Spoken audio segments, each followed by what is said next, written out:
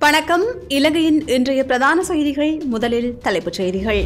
உலக சந்தையில் விலை குறைந்தவுடன் இலங்கையில் எரிபொருள் விலை குறைக்கப்படும் என்று அறிவிப்போம். கொழும்பில் மற்றொரு நபருக்கு டெல்டா தொற்று உறுதி. தொலைபேசி உட்பட பல பொருட்களின் விலைகளும் விரைவில் உயரும் என்று தெரிவிப்போம். கட்டுப்பாடுகளை தளர்த்துவது குறித்து இதுவரை தீர்மானிக்கவில்லை. வைத்தியர் ஹேமந்த ஹேரத் திட்டவட்டம்.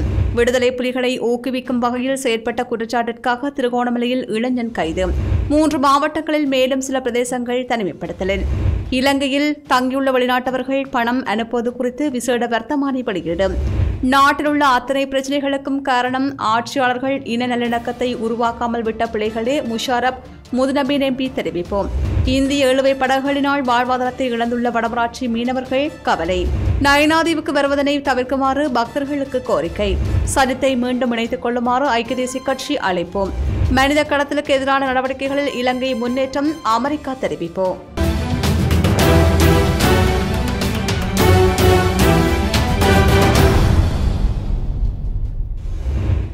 கோவிட் நைன்டீன் தொற்றுநிலைமைக்கு மத்தியில் பொருளாதாரத்திற்கு ஏற்பட்டுள்ள பாதிப்பை குறைத்து மீண்டும் பொருளாதாரத்தில் துரித அபிவிருத்தியை ஏற்படுத்த வேண்டுமாயின் நாட்டில் வளமையான நிலையை ஏற்படுத்த வேண்டும்.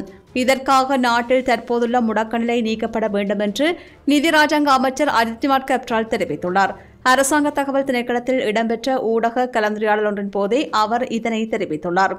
எரிபொருள் விலை அதிகரிப்பினால் மக்கள் எதிர்நோக்கும் பிரச்சினையை மக்களின் உணர்வறிந்து அரசாங்கம் என்ற ரீதியில் நன்கு அறிந்துள்ளதாகவும் கூறினார். எதிர்காலத்தில் உலக சந்தையில் எரிபொருள் விலை குறைந்தவுடன் அதன் நிவாரணத்தை உடனடியாக மக்களுக்கு வழங்க நடவடிக்கை எடுப்பதாகவும் ராஜாங்க அமைச்சர் மேலும் தெரிவித்துள்ளார். இந்தியாவில் பெரிதும் பாதிப்பு ஏற்படுத்தியுள்ள கொரோனா தொற்றின் திரிபடைந்த டெல்டா வைரஸினால் பாதிக்கப்பட்ட மற்றொரு நபர் இலங்கையில் அடையாளம் காணப்பட்டுள்ளார். கொழும்பு வெள்ளம்பட்டிய கித்தம்புக என்கின்ற பிரதேசத்தில் வைத்து இவர் அடையாளம் காணப்பட்டிருப்பதாக கொத்தட்டுவ சுகாதார வைத்திய அதிகாரியின் அலுவலகம் இன்று தெரிவித்துள்ளது.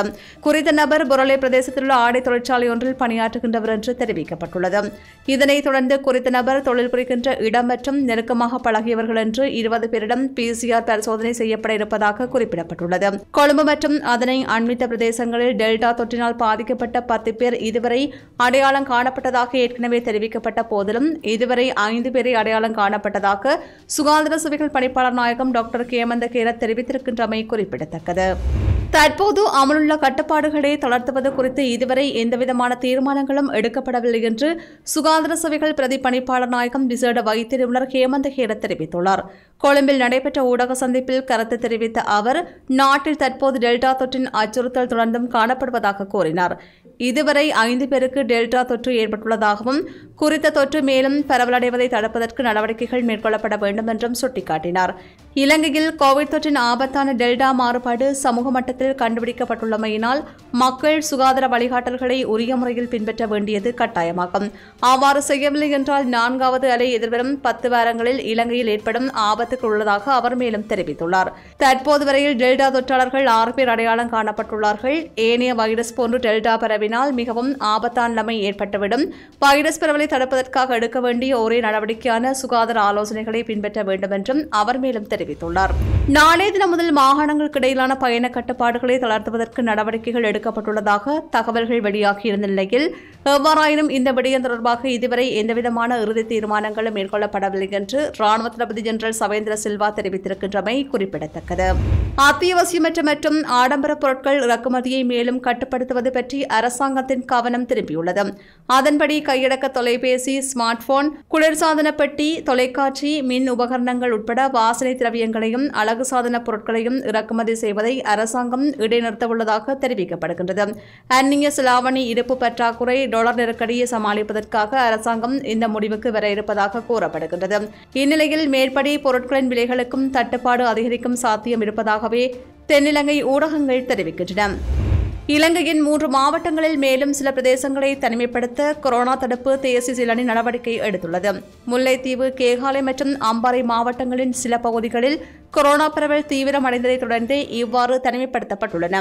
முல்லைத்தீவு மாவட்டத்தின் செம்மலை கிழக்கு கிராம சேவகர் பிரிவின் நாயாறு மீன்பிடி பிரதேசம் இன்று காலை முதல் முடக்கப்பட்டது. இதே நேரம் கேகாலை மாவட்டத்தின் மிகுவிட்டிய கிராம சேவகர் பிரிவின் மாதையாவ கிராமம் மற்றும் அம்பாறை மாவட்டத்தின் மருதமுனை பிரதேசம் ஆகியனவும் தனிமைப்படுத்தப்பட்டுள்ளன. சுகாதார பிரிவின் மற்றொரு பிரிவு பணியாளர்கள் இன்று காலை முதல் வேலை நிறுத்தத்தில் ஈடுபட்டுள்ளனர். அதற்கமைய மருத்துவ சேவை ஒன்றிணைந்த இடை ஊழியர்கள் இவ்வாறு இன்று காலை முதல் வேலைநிறுத்த போராட்டத்தில் ஈடுபட்டுள்ளமை குறிப்பிடத்தக்கது. வன்முறை கும்பல் ஒன்றினால் கைவிடப்பட்ட நான்கு வாள்கள் மீட்கப்பட்டுள்ளதாக சுன்னாகம் போலீசார் தெரிவித்துள்ளனர். தாவடி தோட்டவழியில் இவை இன்று அதிகாலை மீட்கப்பட்டுள்ளன. மருதனர்மடம் சந்தைக்கு பின்புறமாக உள்ள வீடொன்றுக்குள் நேற்று முன்தினம் புகுந்து தாக்குதல் நடத்திய கும்பலைச் சேர்ந்தோர் அடையாளம் காணப்பட்ட நிலையில் அவர்களை தேடி சென்ற போதே வாள்கள் மீட்கப்பட்டுள்ளன. சம்பவம் தொடர்பில் சுன்னாகம் போலீசார் மேலதிக விசாரணைகளை முன்னெடுத்துள்ளனர். பல மாதங்களாக பாடசாலைகள் மூடப்பட்டுள்ள நிலையில் தங்களது வருமானம் முற்றாக அற்றுப்போய் இருப்பதாக பாடசாலை வாகன சேவை உரிமையாளர்கள் சங்கம் தெரிவித்துள்ளது. இதனால் தங்களது கடன்களையும் வாகனங்களுக்கான குத்தகை தவணை கொடுப்பனவுகளையும் செலுத்த முடியாத நிலை ஏற்பட்டிருப்பதாக அந்த சங்கம் தெரிவித்துள்ளது. மேல் மாகாணத்தில் நடத்துகிற நிகழ்வுகளை ஒழுங்கு செய்யும் நிறுவனங்களின் அமைப்பும் இந்த குற்றச்சாட்டை முன்வைத்துள்ளது. திருமணம் உள்ளிட்ட நிகழ்வுகளுக்கு தடை விதிக்கப்பட்டுள்ள நிலையில் தங்களது வருவாய் விளக்கப்பட்டிருப்பதாக அந்த அமைப்பு மேலும் சுட்டிக்காட்டியுள்ளது. போலீஸ் பேச்சாளர் அஜித் ரோகன உள்ளிட்ட சிரேஷ்ட பிரதி போலீஸ் மா அதிபர் ஏழு பேரும் பிரதி போலீஸ் மா அதிபர் ஒருவரும் சேவைகளின் தன்மைக்கேற்ப உடன் அமலுக்கு வரும் வகையில் இடமாற்றம் செய்யப்பட்டுள்ளனர் சிரேஷ்ட பிரதி போலீஸ் மா அதிபர்களான நந்தன முனசிங்க அஜித் ரோகன பத்திநாயக்க தர்மரட்ன ஜெயலத் கொடித்துவக்கு தமிந்த மற்றும் பிரதி போலீஸ் மா அதிபர் விஜயசேன் ஆகிய எட்டு அதிகாரிகளே இவ்வாறு இடமாற்றம் செய்யப்பட்டுள்ளமை குறிப்பிடத்தக்கது மனித கடத்தல் தொடர்பான அமெரிக்காவின் வருடாந்த அறிக்கையில் இலங்கை இரண்டாம் அடுக்கில் வைக்கப்பட்டுள்ளது மனித கடத்தல் செயற்பாடுகளை முற்றாக கட்டுப்படுத்த இலங்கை போதிய நடவடிக்கைகளை எடுக்கவில்லை என்று அமெரிக்கா தனது அறிக்கையில் குற்றம் சுமத்தியுள்ளது. எனினும் இந்த விடயத்தில் குறிப்பிடத்தக்க முன்னேற்றம் ஏற்பட்டிருப்பதாகவும் குறிப்பாக சிறுவர் மையங்கள் இடம்பெறுகின்ற துஷ்பிரயோகங்கள் குறித்த விசாரணைகள் இடம்பெற்றிருக்கின்றது. மேலும் இந்த விடயம் தொடர்பாக அரசாங்கம் சர்வதேசத்துடன் இணைந்து செயற்படுவதாகவும் குறிப்பிடப்பட்டுள்ளது. முன்னாள் நாடாளுமன்ற உறுப்பினர் ரஞ்சன் ராமநாயக்காவிற்கு பொது மன்னிப்பு வழங்குவது குறித்து பரிசீலிக்குமாறு நியாயமான சமூகத்திற்கான தேசிய இயக்கம் ஜனாதிபதியை கேட்டுக் கொண்டுள்ளது நியாயமான சமூகத்திற்கான தேசிய இயக்கத்தின் தலைவரும் முன்னாள் சபாநாயகருமான கரு ஜெயசூரிய அறிக்கை ஒன்றினை வெளியிட்டு குறித்த வேண்டுகோளை விடுத்துள்ளார். நீதிமன்ற அவமதிப்பு வழக்கில் சிறை தண்டனை வழங்கப்பட்டுள்ள ரஞ்சன் ராமநாயக்க தெற்காசியாவில் நன்கு அறியப்பட்ட நடிகர் என்றும் மிகவும் தாழ்மையான நபர் என்றும் கரு ஜெயசூரிய சுட்டிக்காட்டியுள்ளார். எனவே இந்த கோரிக்கைகளை ரஞ்சன் ராமநாயக்க சார்பிலான முறையீடாக எண்ணி அதனை பரிசீலிக்குமாறு கரு ஜெயசூரிய ஜனாதிபதி கோதபாய் ராஜபக்சவிடம் கோரிக்கை விடுத்துள்ளமை குறிப்பிடத்தக்கது. தமிழீழ விடுதலை புலிகள் அமைப்பு குறித்த சமூக ஊடகங்கள் மூலம் பல்வேறு தகவல்களை பரிமாறிய குற்றச்சாட்டில் இருபத்தி நான்கு வயதுடைய இளைஞன் கைது செய்யப்பட்டுள்ளார்.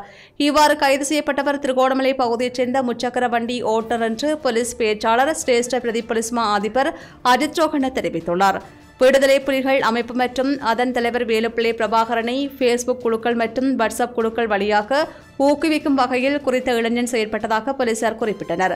இந்நிலையில் பயங்கரவாத தடுப்புச் சட்டம் மற்றும் சிவில் மற்றும் அரசியல் உரிமைகள் தொடர்பான சர்வதேச உடன்படிக்கையின் கீழ் குறித்த இளைஞன் கைது செய்யப்பட்டுள்ளதாக போலீசார் கூறியுள்ளனர்.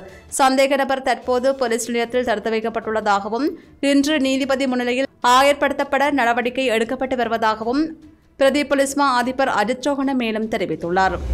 கொரோனா அச்சுறுத்தல் காரணமாக நயனாதேவி நாகபூசணி அம்மன் ஆலயத்திற்கு வருகை தருவதனை பக்தர்கள் தவிர்த்துக் கொள்ள வேண்டும் என்று ஆலய அறங்காவலர் சபையினர் கோரியுள்ளனர். இந்த விடயம் தொடர்பாக ஆலய அறங்காவலர் சபையினர் விடுத்துள்ள அறிக்கையில் மேலும் கூறப்பட்டுள்ளதாவது நயனாதீவு நாகபூசணி அம்மன் ஆலயத்தில் மட்டுப்படுத்தப்பட்ட அடியவர்களுடன் நித்திய பூஜைகள் நடைபெறுகின்றன. எனினும் கொரோனா அச்சுறுத்தல் காரணமாக அபிஷேகங்கள் அடியவர்களின் நேர்த்திகள் தற்காலிகமாக இடைநிறுத்தப்பட்டுள்ளன. இவை மீளவும் ஆரம்பிப்பது தொடர்பாக பின்னர் அறிவிக்கப்படும். ஆகவே பக்தர்கள் அனைவரும் தற்போதைய சூழ்நிலையை கருத்தில் கொண்டு ஆலயத்திற்கு வருகை தருவதனை தவிர்த்து உங்கள் வீடுகள் இருந்தவாறு அம்பாளை வேண்டிக் கொள்ளுங்கள் என்றும் அந்த அறிக்கையில் மேலும் கூறப்பட்டுள்ளது. இலங்கையில் தங்கியுள்ள வெளிநாட்டவர்கள் இடம்பெயர்வு கொடுப்பனவின் கீழ் தமது சொந்த நாடுகளுக்கு பணம் அனுப்புவதை மட்டுப்படுத்தி அதிவிசட வர்த்தமானி அறிவித்தல் வெளியிடப்பட்டுள்ளது. நிதியமைச்சர் என்ற வகையில் பிரதமர் மஹிந்த ராஜபக்சவின் கையெழுத்துடன் இந்த வர்த்தமானி அறிவித்தல் வெளியிடப்பட்டுள்ளது.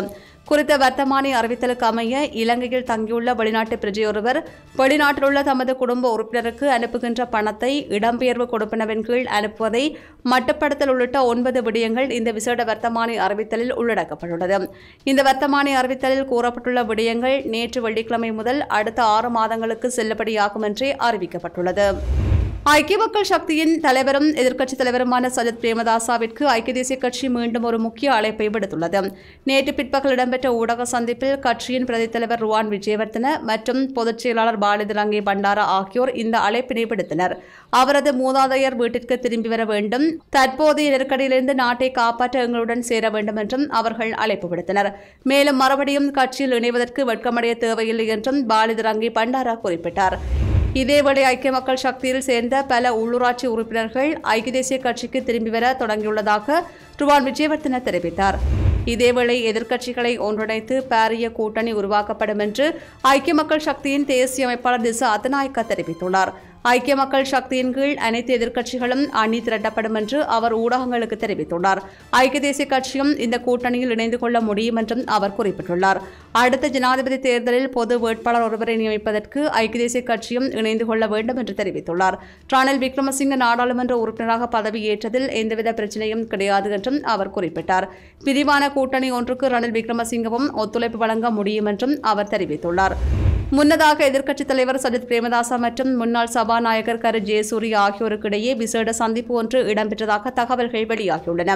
கடந்த புதன்கிழமை இந்த சந்திப்பு இடம்பெற்றதாக கொழும்பு ஆங்கில ஊடகம் ஒன்று செய்தி வெளியிட்டுள்ளது. இந்த சந்திப்பு ஹேவ்லாக் டவுன் அமரசகர அவனியூவில் அமைந்துள்ள கரு ஜெயசூரியவன் இல்லத்தில் இடம்பெற்றதாகவே தெரிவிக்கப்படுகின்றது.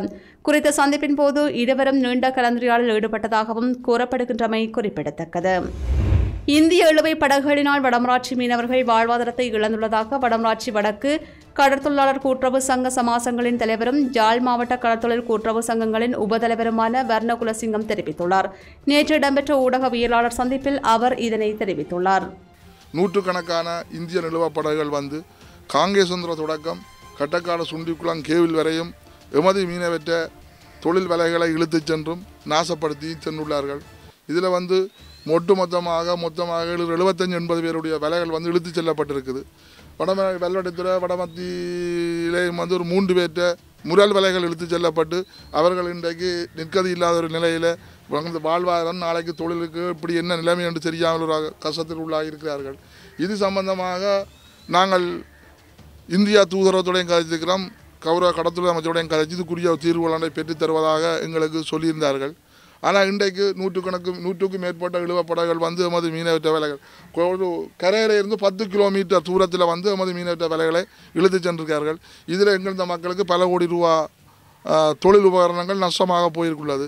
இதை உடனடியாக கவனத்தில் எடுத்து இதுக்குரிய நடவடிக்கை கௌரவ ஜனாதிபதி அவர்களும் கௌரவ பிரதமர்களும் கடத்தொழில் அமைச்சர் திரு டக்ளஸ் ஆனந்த் அவர்களும் இதுக்குரிய நடவடிக்கை உடனடியாக எடுத்து எங்களது கடற்படைக்கு அறிவித்து எமது கடல் பரப்புக்குள்ளே இந்த இழுவப்படகை அனுமதிக்காத வண்ணம் உங்களை மிகவும் தாழ்மையுடன் கேட்டுக்கொள்கிறோம். அடுத்தது வந்து எமது மீனவருக்கு இதுவரை காலமாக இந்தியா எழுவப்பட கால பாதிக்கப்பட்ட மீனவருக்கு எந்த விதமான ஒரு நிவாரணமும் கொடுக்கப்படவில்லை. தொழில் உபகரணம் என்றாலும் சரி மேற்கு நிவாரணம் என்றாலும் சரி இன்றைக்கு பத்து வருஷத்துக்கு மேலாகியும் எந்த விதமான நிவாரணம் கொடுக்கவில்லை. இன்றைக்கு எத்தனையோ குடும்பங்கள் தொழில் செய்ய முடியாத ஒரு நிலைமைக்கு தள்ளப்பட்டிருக்கு இந்த இந்திய நிலுவப்பட கால. இதுகளை கவனத்தில் கொண்டு கடத்துறை அமைச்சர் உடனடியாக இதுக்கு நடவடிக்கை எடுக்கும்படி உங்களை மிகவும் தாழ்மையுடன் கேட்டுக்கொள்கின்றோம். நாட்டிலுள்ள அத்தனை பிரச்சனைகளுக்கும் காரணம் ஆட்சியாளர்கள் இன நல்லிணக்கத்தை உருவாக்காமல் விட்ட பிள்ளைகள் என்று திகாமண்டல மாவட்ட நாடாளுமன்ற உறுப்பினர் சட்டத்திரணி எஸ் எம் எம் முஷாரப் தெரிவித்தார். இலங்கைக்கான பாகிஸ்தான் உயர்ஸ்தானிகர் ஓய்வுநிலை மேஜர் ஜெனரல் முகமது ஷத் கட்டாக் கலந்து கொண்ட இலங்கை பாகிஸ்தான் நட்புறவுக்கான நிகழ்வு வெள்ளிக்கிழமை பொத்துவில் இடம்பெற்ற போது அங்கு உரையாற்றுகையில் அவர் இவ்வாறு குறிப்பிட்டார்.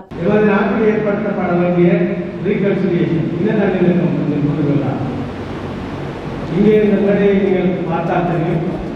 சர்வ மத தலைவர்கள் இங்கே பொத்துவில் என்கின்ற இந்த கிராமத்தை பற்றி நான் எப்போதும் பெருமையோடு சொல்வதுண்டு.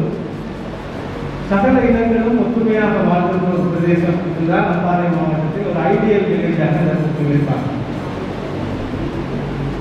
இலங்கையினுடைய துரதிருஷ்டம் இலங்கை போன்ற ஒரு நாட்டிலே இவ்வளவு தூரம் பின்னடைவு ஏற்பட்டதற்கான பிரதான காரணமாக ஒரு பாராளுமன்ற உறுப்பினராக நான் சொல்கிற விடயம் என்னவென்றால் இனங்களுக்கு இடையிலான ஒரு நல்லிணக்கத்தையும் புரிந்துணர்வையும் ஏற்படுத்துவதில் எம் ஆட்சியாளர்கள் தவறிழைத்ததனுடைய விளைவுதான் எமது நாடு இன்னும் முன்னேறாமல் இருக்கிறது என்பது என்னுடைய அபிப்பிராயம். நாம் மலேசியா பற்றி பேசுகிறோம். அதே போன்று தென்னாப்பிரிக்காவுடைய நெல்சன்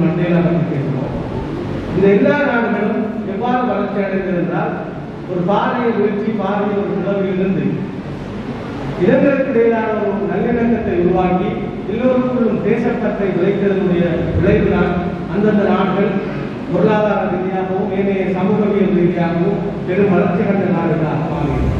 இத்துடன் இலங்கையின் இன்றைய பிரதான செய்திகள் நிறைவு பெறுகின்றன.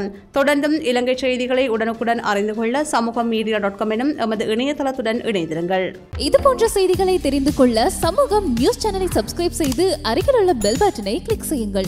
மேலும் இது போன்ற செய்திகளை உடனுக்குடன் தெரிந்து கொள்ள சமூக மீடியா டாட் காம் என்ற இணையதளத்தின் வாயிலாகவும் எங்களுடன் இணைந்திருங்கள்.